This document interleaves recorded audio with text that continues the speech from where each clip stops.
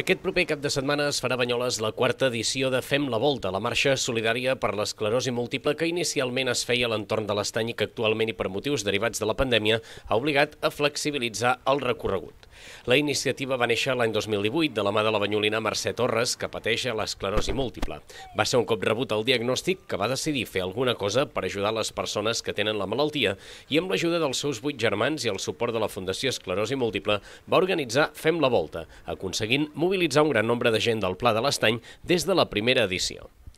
Després de dues edicions, l'arribada de la pandèmia va obligar l'any passat a repensar l'activitat, ja que les mesures de seguretat impedien poder celebrar l'esdeveniment de la forma habitual amb una sortida conjunta i l'aglomeració de participants que s'havia aconseguit els altres anys. Així doncs, aquest serà el segon any consecutiu amb el nou format, que convida tothom a adquirir el seu dorsal solidari per internet i fer la volta a l'estany o a qualsevol itinerari que es desitgi en algun moment del cap de setmana, ja sigui dissabte o diumenge.